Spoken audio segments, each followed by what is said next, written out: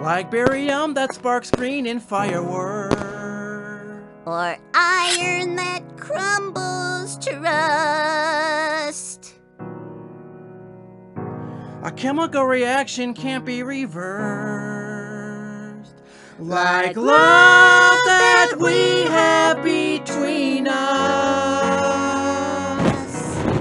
Oh, oh, Xenon, isn't he dreamy? Ruth, if you're saying he's handsome, you realize that's merely physical. No, Xenon. It's love. It, it's chemistry. Like food in my belly, digesting to goo. Like chemistry brewing between me and you. Like cyanide used to mine ores for extraction. It runs in our blood.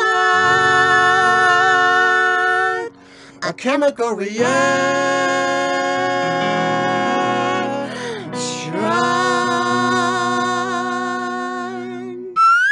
Well, I'm not so sure young love is chemical and not merely physical, but I suppose it could be both. Xenon, don't you have somewhere to be?